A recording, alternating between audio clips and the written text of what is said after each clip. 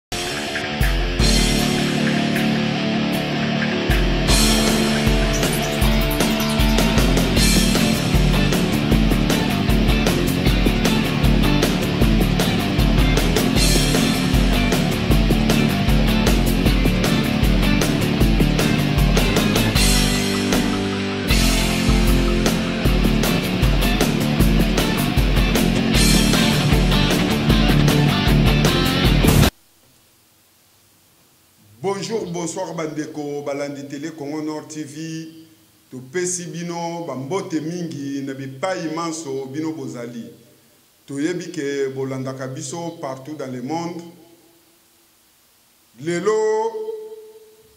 nga na yeli bino ba sango oyo ezo sala biso pasi biso bata media ezali ko sala biso vraiment pasi soki na yebisi bino ke ezo sala biso pasi ndeko oyo ba bengi na kombo ya Eliezer Tambwe journaliste na kati ya Congo Azali poursuivi na la justice na makambo oyo ezali ya solo oyo mutu ayambaki alobelaki ye. Makambo oyo. Ezali makambo moko mawa na pasi ya komona ka mboka oyo ya Congo ezo kende na ma ndenge moko boye ya mabe parce que ba konzi oyo bazo konza biso na kati ya mboka Congo c'est des gens qui sont pas sincères envers leur peuple. Lelo ba ndeko na ngai Eliezer bakangi ye azali na palais de la justice na kati ya Kinshasa. Ngai ndeko na bino nazo pesa bino information oyo nazali na kati ya poto. Information oyo ekomeli biso ya ndeko Eliezer e touche biso. Surtout equipe na nga mobimba e touche biso fort. Donc to regretter na ngo po biso to landaki information oyo ndeko Eliezer a yambaki ndeko ya muasi ya ndeko na biso oyo a lokotaki diamant a yaki epai ya ndeko Eliezer po a lobela makambo ndeko ne a kutani na yango eh na makambo wana nionso ndeko Eliezer abandaki kotuna mama ezalaki ba makambu ya diamant ya 35 carat ya diamant oyo ngoyi kasanza ameli ngoyi kasanza azali mutu moko boye azali gouverneur Tala kaka batu mosusu na ba poste nayo ya musala ozo respecter yango te ngoyi kasanza c'est un gouverneur bandit criminel assassin diabulu ndoki azali ye moko te bazali ebele na kati ya congo Ngoyi Kasanza mutu alokoti diamant na ye na kati ya zamba abimi na ngo na mboka, ye Ngoyi Kasanza a complote, asali ba magouille, ba mayuya ti ba mema mutu wana na Kisasa, mutu wana akoma na Kisasa, diamant emonana te, ndenge nazo betela bino lisolo oyo, tata wana akufa. Ndeko Eliezer ayambaki ndeko na ye ya mwasi. Ndeko ne ya mwasi moto aya kobetela Eliezer Tambwe ba masolo nionso ya makambo ya diamant wana. Nga naza na poto, naza journaliste, chroniqueur comme vous voulez, donc tolandelaka ba makambo ebele ya mboka na biso, topesaka pe ba informations pe ebele ya mboka na biso. Na landi information ya ndeko Elezer atuni maman wana, maman wana a s'exprimer comme il faut. Alobi ndeko na ye ya mobali alokotaki diamant ba cote ya ba zamba na ba mboka na ba Kasaï kuna ti abima nango na zamba akomi na mboka sikoyo baluki bato oyo bakoki kosomba yango. Ti na kati ya koluka batu basomba diamant ekomela gouverneur wana ngoyi kasanzi moyibi criminel ndoki assassin azui diamant wana bakenda na tata wana na lisasa bamema tata wana na bacoin moko boye inconnu na bandako moko boye très suspect n'importe qui ne peut pas aller là-bas na bandako wana bakenda ba tortira papa wana bapesa papa wana babiloko moko boye soki ndenge nini alia yango papa wana aboya grande sœur na ye soki petite sœur na ye nde moto ayaki kosauve ye na esika oyo ye azalaki ya mabe ti amema ye na ndako na ye bamasolo wana nyonso ndeko elezer abeta yango nga nalanda information wana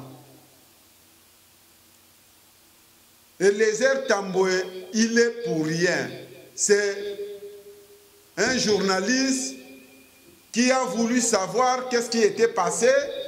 maintenant il était au courant de tout ce que Ngoïka s'en avait fait.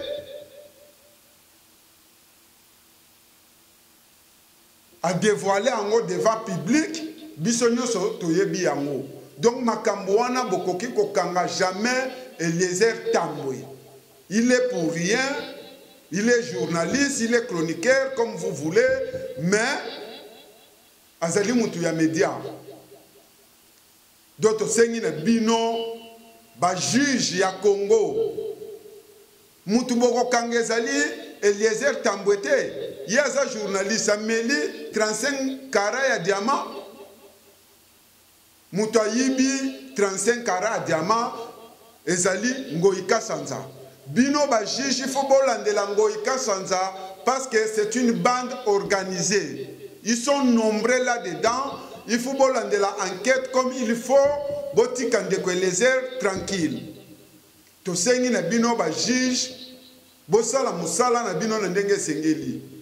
bosala te mosala parce que c'est un gouverneur gouverneur ya makambo nini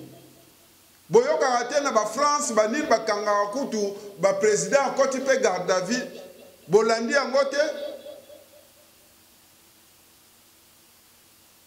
bokomosakana na bato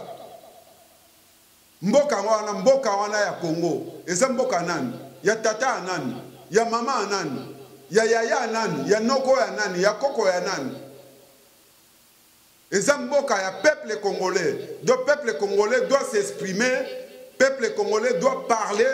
peuple congolais doit dire tout ce qui ne va pas dans son pays. boza wana te ke no bokangaka bato minoko parce que oza gouverneur moko boye ya funi ale bon bato bakanga minoko ale yo oyibaka bato ba 35 kara ya diamant Batu ba kufaka yo o vivre tu es qui? Gouverneur aza nani? Yo okanisi yo soki olongwe na place wana gouverneur il y a pas un congolais qui va être euh, à, à ta place?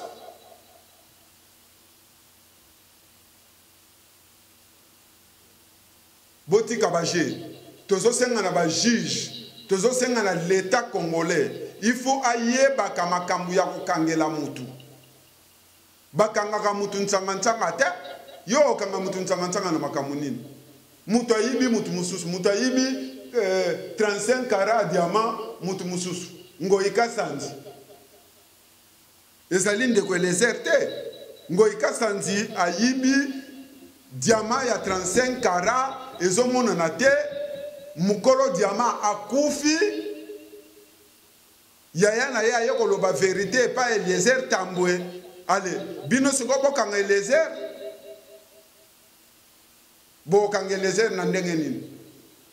Moto ayibi diamant gouverneur ya, ya, ya, eh, eh, ya mboka ya Congo. Bamakambo na bakabila pe il faut bayeba yango te. Soki aliaki pe na kati to aliaki te. Il faut ayebaka yango kabila. Oyo nyonso bazo salir pe na ye kabila yango te.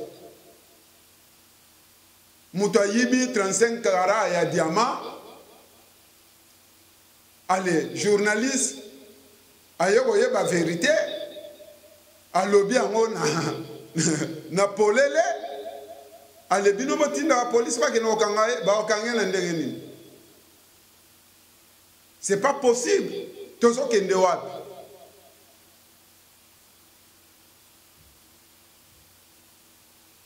B'elections oyo bino bozo luka ke oh b'elections. B'elections ya nini? Nayebi kutu te b'elections yango bozo lobela yango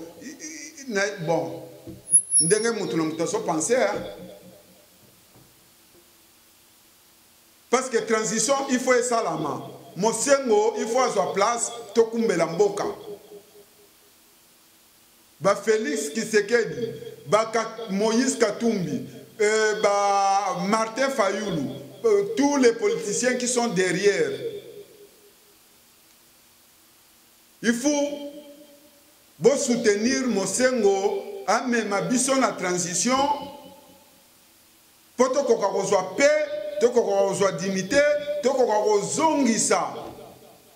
Oyo nioso biso to perdre pendant 20 ans.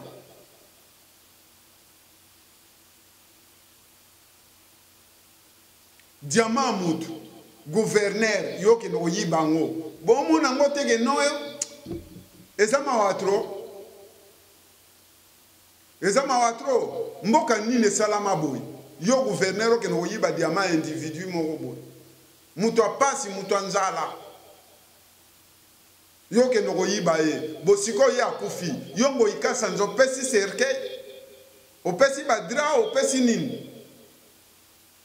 oh bana congo il faut tolamuka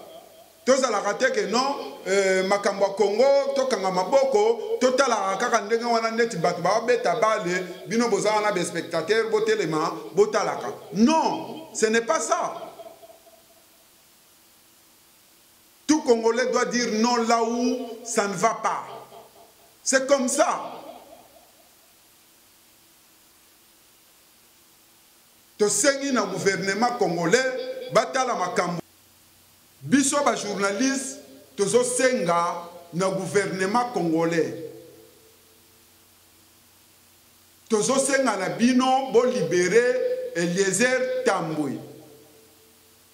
Mutu bokokanga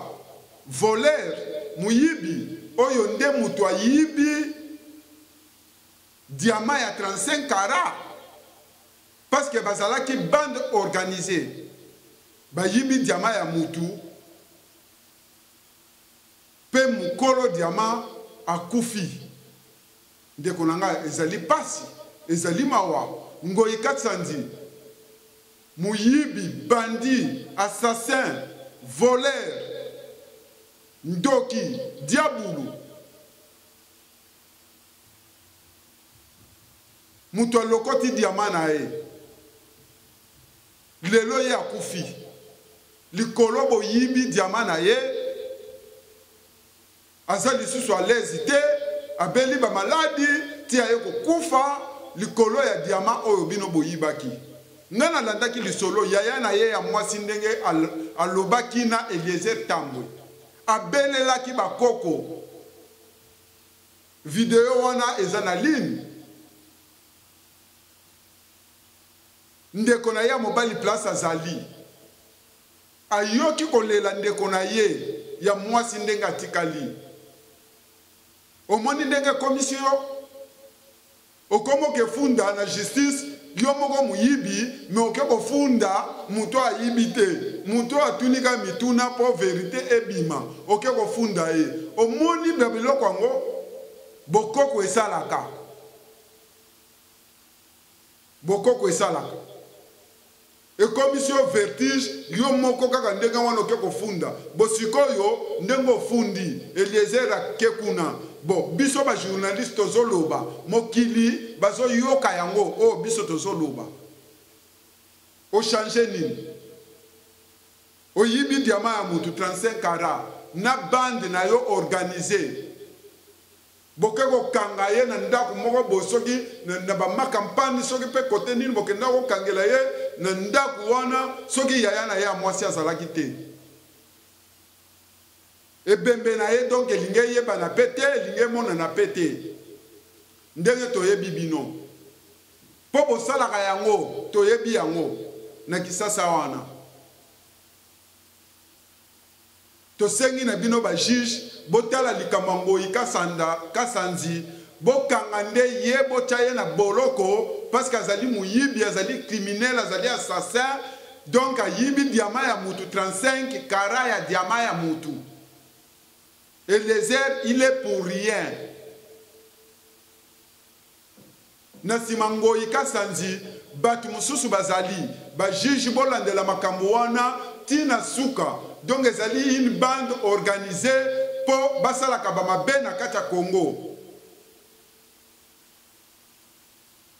Ba ndeko na ngai nazo tiela bino information oyo ndeko Raphaël na Mukebayi bakendaki kuna na palais de la justice mpo bayeba ndenge nini makambo ezali koleka kuna na palais de la justice bolanda bango Bandeko Balandi à Vision Plus euh, TV.com, euh, bienvenue et bonjour ou bonsoir selon l'heure à laquelle Borolanda Bisso. Euh, Tozali en direct et à Palais de la Justice, à la place Wapi Mwana Mboka Ndeko Eliezer Azuami. Euh, mwana kolo lupangu oyo bakangi ye depuis tongo ya lelo tokoluka bongo koyeba pourquoi tozali bongo na mwana mboka uh, mike mukebayi euh, patron ya magazine ou journal uh, cnews nakende bongo kopesa nao mbote bonjour mwana mboka mike mukebayi mbote mingi ndeko rafael esengo komona yo alors mwana mboka mike mukebayi lelo uh, déjà il faut koyeba koloba plutôt que mwana mboka uh, ndeko liezer akangamaki depuis tongo uh, Eloko nini bazali ko reprocher ye na arrestation? Nabi na yo ndeko, liboso te tokota na bozindo ya likambo, nakotalisa nde likambo bazuzi bakosala ya likambo ya na solo te. Mbuta Muntu azali procureur general, azonga na nzela ya solo. Boni boni Eliezer ayebani Kisasa mobimba, ndako na ye eyebani, esika na ye ya mosala eyebani. bokoya kokanga ye na mandat d'amene bokumba ye na lombango awa botinda mandat de comparution aya aya kosamba bokamati na ntongo botindi baagent ya police judiciaire bakende kokanga ndeko eleze bamema ye awa banda ye banda ntongo ti tokoswana nano basambisi ye te toyebi mayele na bango bavandisa ye boye te ekoma na pokwa ebongo nsima okoyoka balobi te balalisi ye awa lobi batindi ye na makala tokondima yango te tokotelemela yango likambo eyali nano te bozindo ya likambo eyali nano ndenge bakangeli ye ekei na nzela ya mibeko te elezer aza moto te oyo na kisasa okoluka ye elezer ayebani kisasa mobimba soki bokanga ye so asali mabe botinda oyo babengi mandat de comparution bokende kozwa ye te loko aza kuluna boye mbamo na mandat d'amener kokumba ye awa yango eloko totemi atozela ti ekosika ekosila na pokwa Alors, euh, euh, euh Dava, olobi wana ezali euh, vice ya procédure oyo omoni oconstate mais babengeli ye likambo nini babengeli ye eyali gouverneur ngoi kasanji elezer asali eloko alekisi na etando eke na eloko wana elezer abi te bato bafundi ngoi kasanji te ayibi diama na bango Eliezer azwaki na mayele na ye ya mosala ya mopanzi sango, atindaki eloko wana epai ya bato ya Ngonga ya Kasanji mpo bapesa eyano. Poso mibale mobimba bakopesa eyano te. Sika Eliezer abimisi eloko wana, yango wana ngambo abimi amemi moto oyo ayaka na diama wana, soki oyebi te akufi na kokufa na likambo wana. Sika awa awa Tengoyi Kasanji aloba bato bayeba so likambo eza solo to solo te nzela aponi nini kanga nini ngai ye elege memela ye ngai na boloko mpo ayeba te ngai nde nayali oyo babengi na lingala pomba awawa ah, so moto ana bokonzi komeka na ye te zuzi ana libenga ya bakonzi bozwi likambo na ye ntango mokonzi aya mokonzi akotyao na boloko ndenge alingi likambo oyo toyeli yango wana mpe ye asi afundaki likambo wana esika na biso bapanzi sango babenga yango sesak mokolo ya misato esengaki ete eliezere akenda kosamba tolamuki lelo na tongo tokokamwa tokosutuka ye wana atindi bato bayokanga ndeko eleger yango likambo toyalela la, euh, la, euh, la voix le plus fort est ce que aujourd'hui tokoki kopense que lelo ekoki kobaluka to même, euh, même ro noir ekoki ozala derrière ce dossier yo koluka main noir ye moko ngoyi kasanji ye nde main noir yo koluka main noir nini obengi tout puissant tout puissant mais ndeko nzela te babengisa moto aya na oyo babengaka kotali français mandat de comparation mbala moko bobamboli ye mandat d'amener wana oza tout puissant te yango wana tout puissant okoluka meno waka wapi yango wana loboko ya mwindo okoluka oyo oh, oh, yango wana nasi nalakisi biso yango eloko nini okoki olobela bato nyonso ya diaspora oyo baza kolanda ase net moment euh, na ngonga oyo nakosenga bango batelema babelela likambo oyo eyokana batikela biso ya biso ndeko azonga akende osala mosala na ye ndenge asalaka yango nayebi te bakanaka ye balukaka ye lokola alobaka solo okomona awa bazwi ye boye bakoya kosangana ya liboke basalela yo babengana lokota ya lingala eh, likopa bandeko babelela mongo makasi likambo eyokana batikela biso ndeko ya biso eliezer tozonga na ye na ndako bongo euh, depuis boye euh, toza déjà euh, 15 heures toke déjà 16 heures kala mingi te bakokanga déjà badossier euh, babureau ndenge nini makambo ezali kotambola ndenge nini procédure ezali koleka awa toyebi ndenge ekotambola te toya libanda ye aza na kati toyebi te banda toyaki na basambisaki ye te eleki ata ngonga moko ande babandi kosambisa ye ta moto banda bayaki na ntongo ya konyokola moto bavandisi ye bakosambisa ye te tokozela basi se bongo toyeba tokoyebisa bayimboka eloko nini ekoleka wana bongo tocontinue bongo en direct ya palais de la justice mpo na kopesa bino